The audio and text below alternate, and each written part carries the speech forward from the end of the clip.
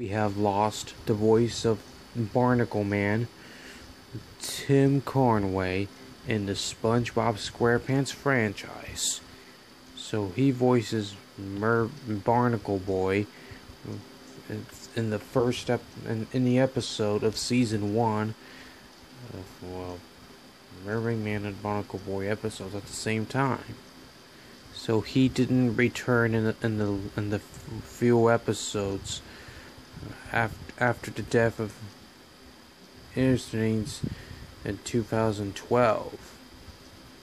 And so the comments and subscribing. This is Minion Fan 1024 signing off.